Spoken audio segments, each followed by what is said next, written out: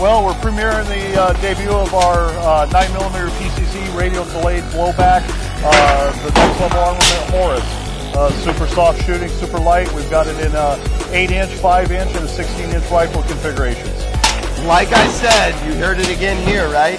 These companies are debuting items here at TriggerCon. This is the first time the public has had the opportunity to shoot it, am I right? It is, it is. This is the first time it is. We shipped uh, a few of them to Rainier already for a little bit of a demo. They've got some of the first ones on hand. Well, hey, Mike, I appreciate it again. Thank you for letting me come out and shoot this thing. It's a ton of fun.